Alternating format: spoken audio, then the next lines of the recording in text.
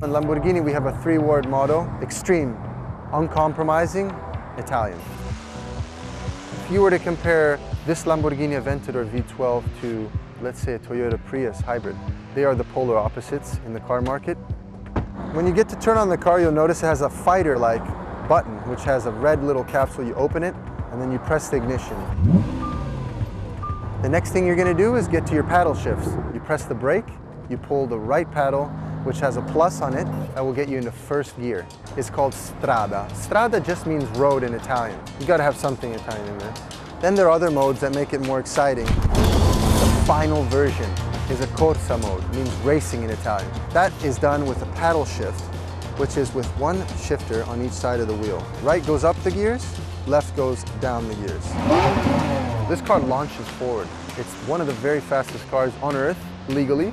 You have to shift. If you don't know what you're doing, we suggest you do not use this button at all.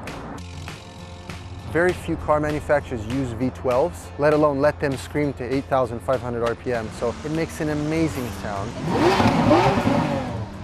It turns heads before you see the car. My suggestion is to drive as slow as you can, save as much fuel as you can, and look as good as you can.